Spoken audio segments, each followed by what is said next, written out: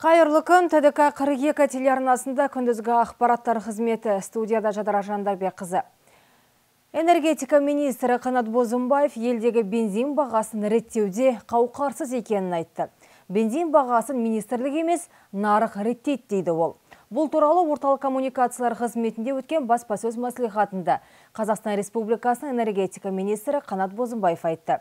Сондай-ақ министр Нұрсұлтаннан басқа еліміздің өзге де аймақтарын газдандыру жоспары барын айтты. Елімізде бензин бағасы өткен жылмен салыстырғанда 6,9 пайызға төмендеді дейді министр Бозымбаев. Қазір 1 литр АИ 92 147,6 теңге тұрады. Дегенмен жанар жағармай бағасы тиындап төмендегенмен бұл тұтынушылар үшін салмақты айтарлықтай азайтып отырған жоқ. Бүгін ел нарығы сырттан келетін бензинге тәуелді емес, толық өзімізде өндірілген өнім жеткілікті. Сөйте тұра бензиннің бүгінгі бағасы көпшіліктің көңілінен шықпайды. Ал оны реттеуде бас энергетик қауқарсыз болып отыр бензин бағасын мен қазір регулировать еткен жоқпын.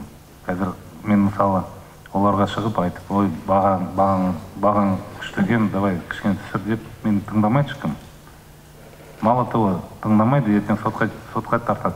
Айтады сен неменеге кірісесің? Біз бағаларымызға бензиннің бағасын қазір нарық бекітеді нарық.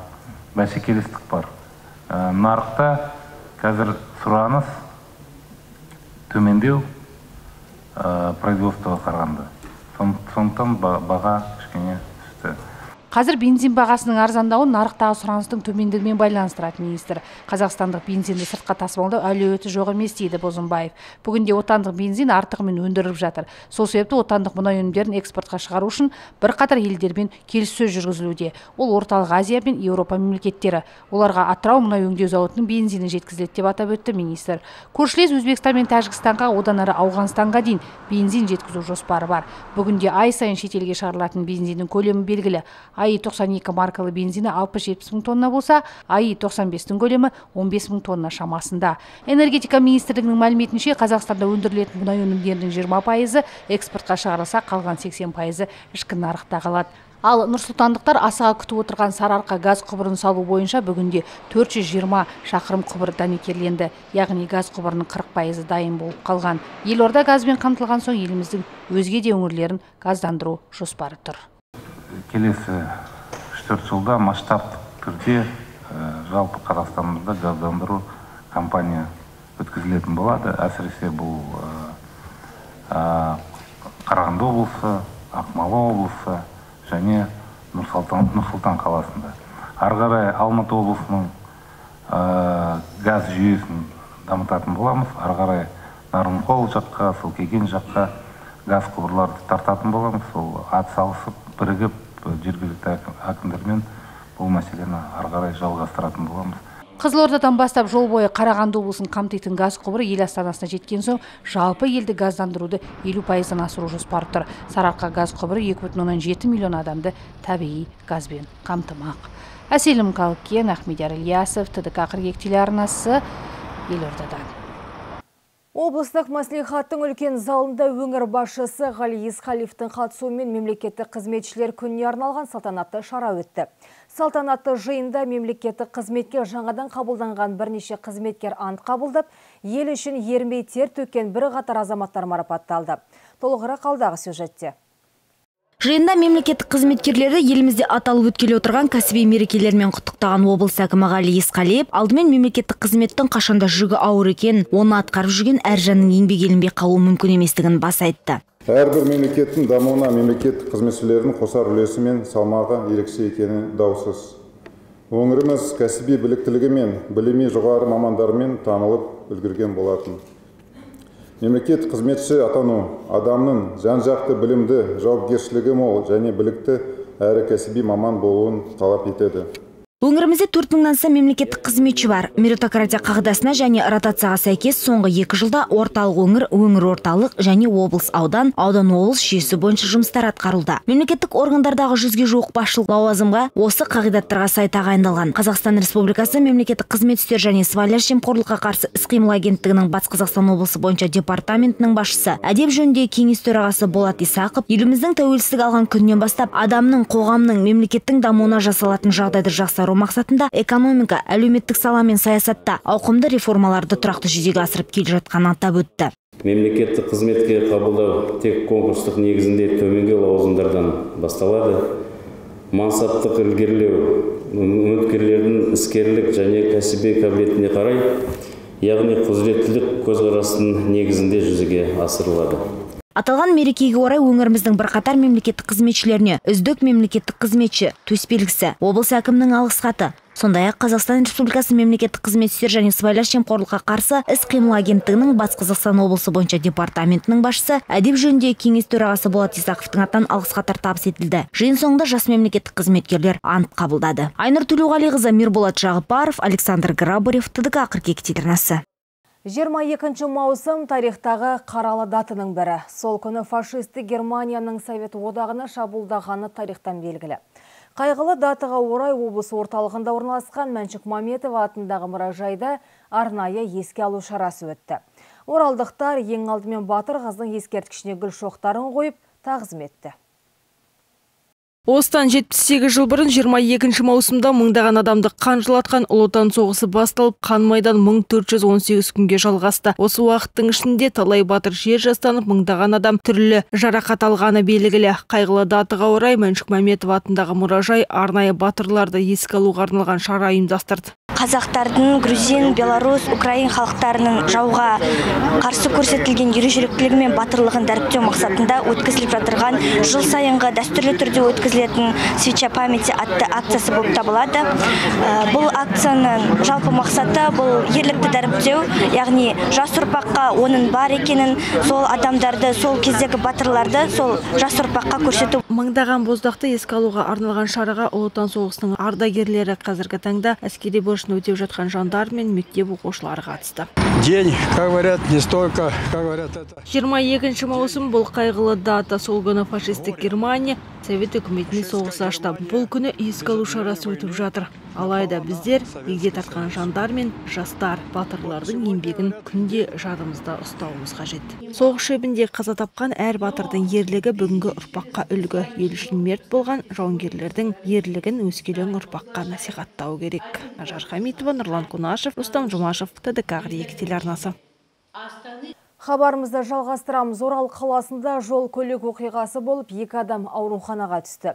Жол апаты шаған жағалау маңында орналасқан сандықтар дүкеніне жақын жерде болған. Айта кеткен жөн, бұл жерде осымен бірнеше мәрте жол апаты тіркеліп отыр. Жол апаты күннің екінші жартысында болған. Наумова және Сарайшық көшесінің қиылысындағы бағдаршам тұсында екі машина соқтығысып қалған. Жол апаты салдарынан Audi және Toyota темір тұлпарларының күл паршасы шыққан. Toyota көлігінің жүргізушісі жол ережесін бұзбағанын айтады.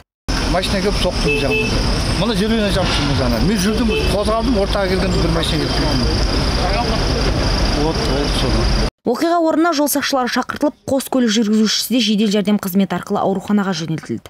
20 маусым күні сандықтар дүкенінің қасында жол көлік апаты орын алды. Апат салдарынан 1970-1967 жылғы екі ер адам зардап шеккен. Екеуі де қалалық көпбейінді ауруханаға жеткізілген. Дене жарақаттары зарарсыздалғаннан кейін екеуі де амбулаторлық ем алуға үйлеріне жіберілген. Еске сала кетеміз, жол апаты нақ жерде жиі тіркелетіндіктен бұл жерге полиция дүңгіршегі қойылған болатын. Десе де жылдамдықты көзсіз асырғандар қатары азаяр емес. Айнұр Төлеуғалиқызы Айболат Жағыпар, Александр Грабарев, ТДК қыркүйек телеарнасы. 800-ден астам оралдық пробация қызметінің есебінде тұр. Жазасын өтеп шыққан азаматтардың әлеуметтік ортаға бейімделуі мен олардың жұмысқа тұруы күн тәртібінен түспейтін сауалдың бірі.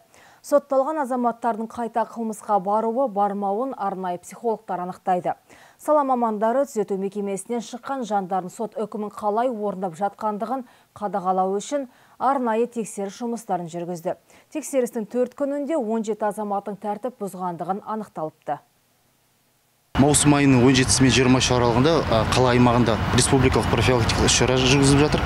Бұл профилактиканың аты шартты сотталған. Қазіргі таңда пробация қызметінің есебінде 870 сотталғандай есепте тұр. Іс шара басталғаннан бері 555 сотталған тексерілген болатын. Батыс Қазақстан облысында полициялер марапатталды. Батыс Қазақстан облысында полиция департаментінің бастығы генерал-майор Мақсудхан Абылазимов 23 маусым Қазақстан полициясының құрылған күннің құрметіне орай жеке құрамның алдына шығып, қоғамдық тәртіпті күзетіп, қылмыстың алдын алып жүрген полиция ұжымын төл мерекелерімен құттықтады.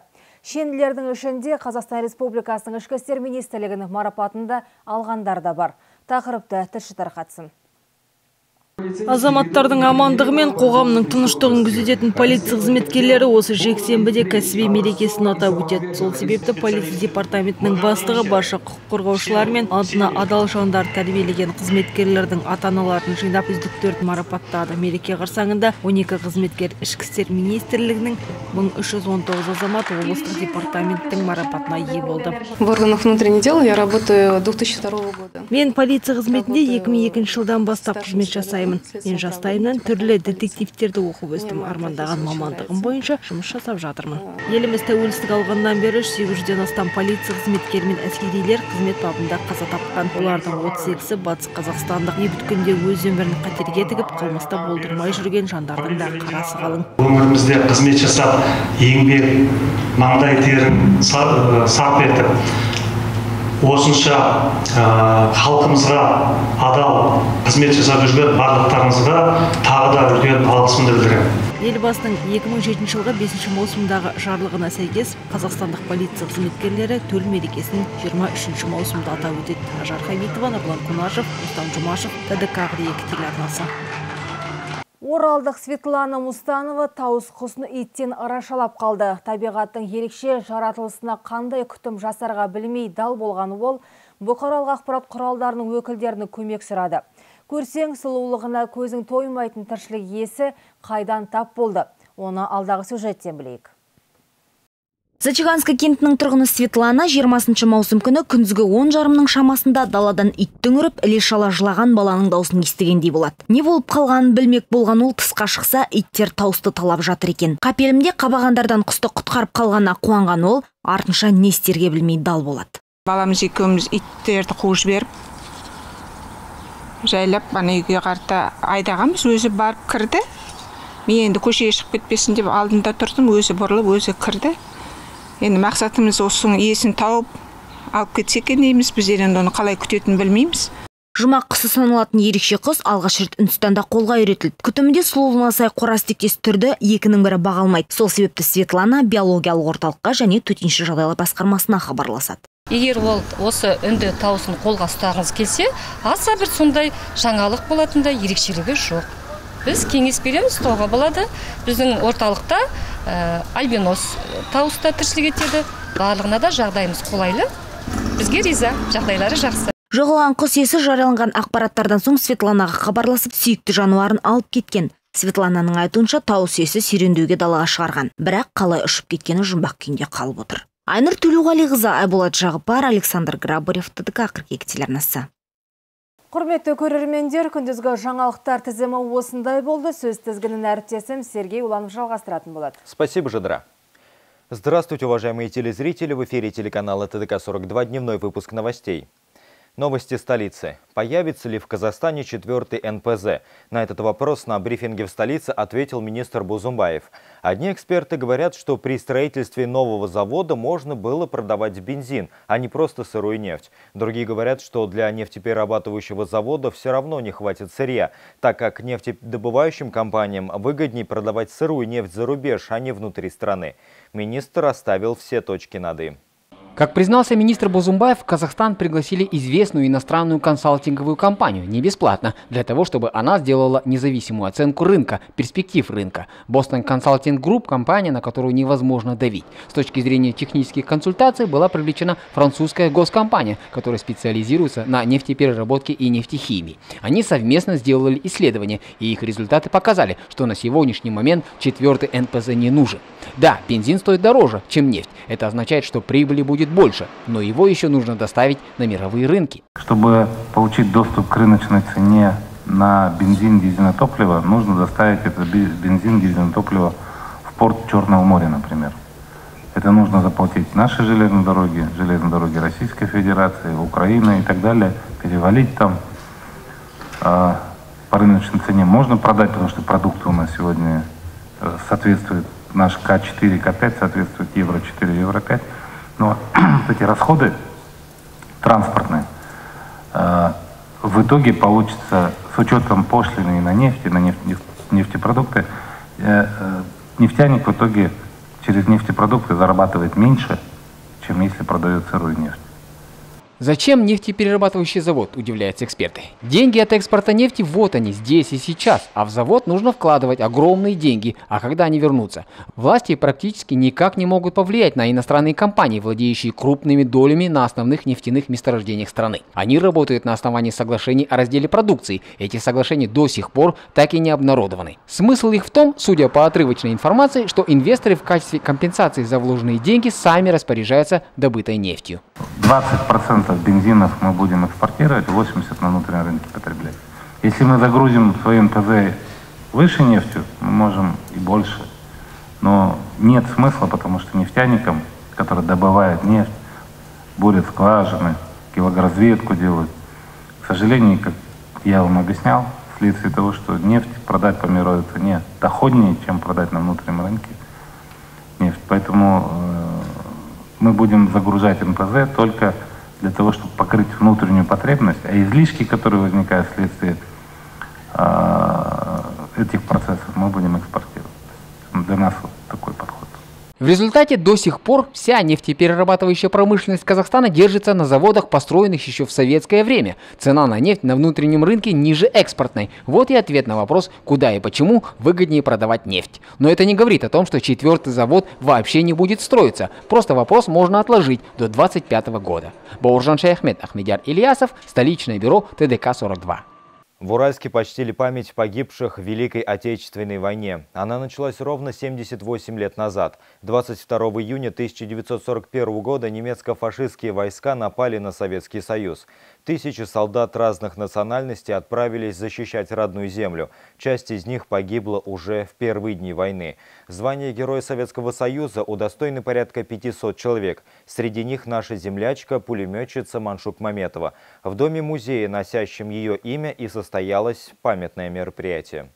Мероприятие, посвященное памяти погибшим воинам, традиционно проходит в Доме музея имени Маншук Маметовой, девушки, посмертно удостоенной звания Героя Советского Союза. Именно здесь она жила со своими приемными родителями. На фронт она ушла добровольцем от Западно-Казахстанской области. Была в составе одного из стрелковых батальонов гвардейской стрелковой дивизии. Освоила стрельбу из пулемета. На протяжении долгого времени Маншук отважно сражалась с врагами, но 15 октября 1943 года погибла на поле боя под городом Невель, Псковской Московской области. Маншук Маметова посмертно удостоена звания Героя Советского Союза. Сегодня насчитывается порядка 500 героев-казахстанцев. По сей день на землях, где шла война, продолжают находить останки солдат. Чтобы этот день, 22 июня, запомнили и помнили, знали историю своих героев нашего Казахстана, нашего Приуралия.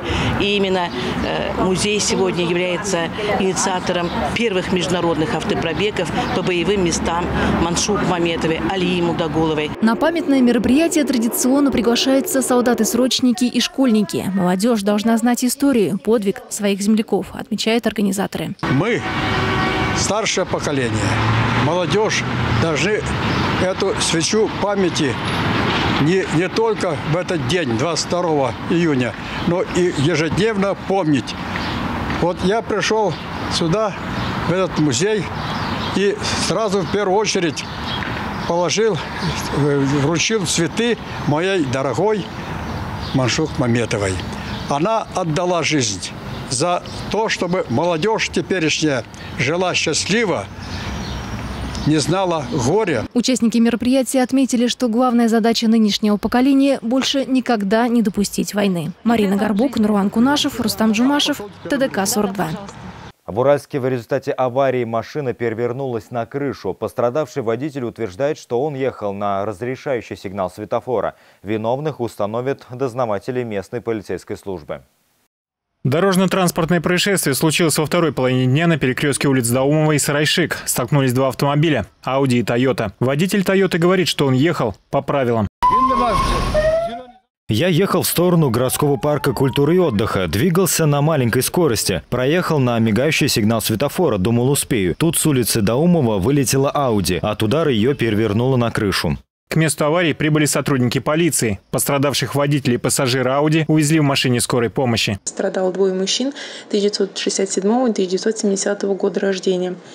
С ушибами и множественными ссадинами они были доставлены в городскую многопрофильную больницу, где после обработки ран они были направлены на амбулаторное лечение. Роман Копняев, Айбулат Джигапар, Александр Грабарев, ТДК-42.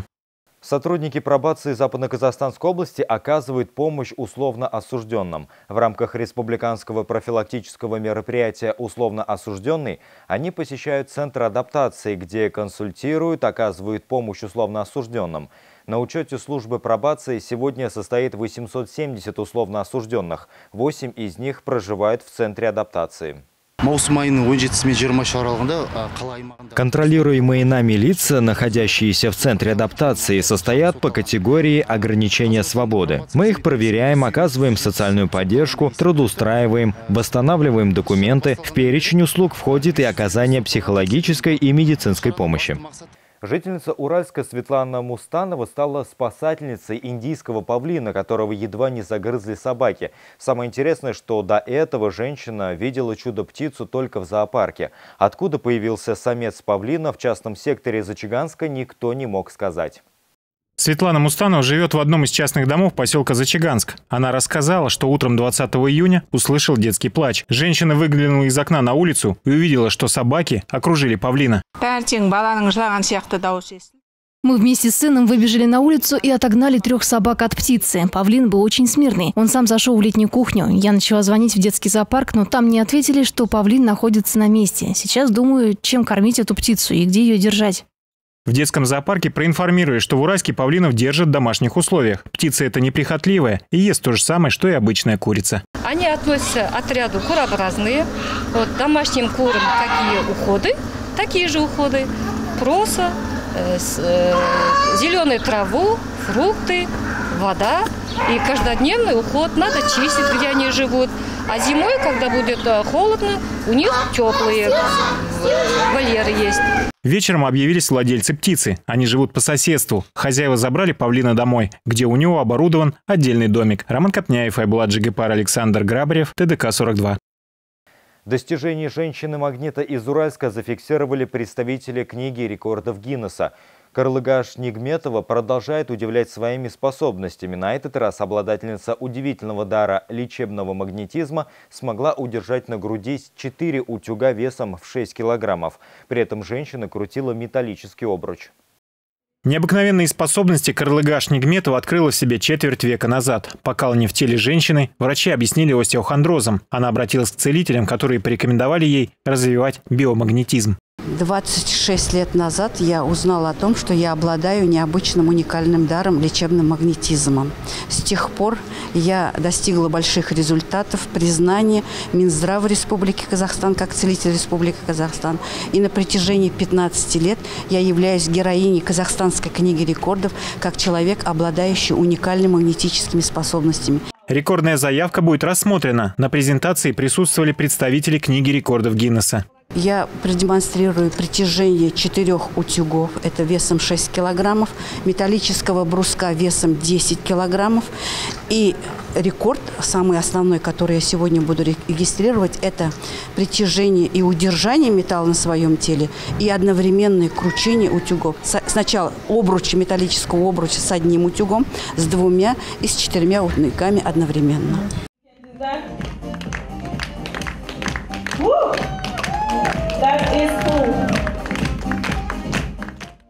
Биоэнерготерапевт, чье имя внесено в Казахстанскую книгу рекордов, ведет обычный образ жизни. Занимается спортом, общается с друзьями. Она мать двух дочерей и бабушка трех внуков. Горожане нередко обращаются к Карлыгаш Нигметовой за помощью. Белая зависть ее способности, это именно, вот как вот, ну, я не понимаю даже это выразить. Я дома пробовал сам, утюг не держится. Да, пробовал. Один утюг и утюг завод был нашего завода механического пробовал, все равно падает. Сейчас биоэнерготерапевт надеется на исполнение своей заветной мечты, чтобы ее имя внесли в Книгу рекордов Гиннесса. Роман Копняев, Айбула Джигапар, Александр Грабарев, ТДК-42. Уважаемые телезрители, это были все новости к этому часу. Ищите нас в социальных сетях и на сайте tdk42.kz. Спасибо за внимание. В студии работал Сергей Уланов. До встречи в эфире.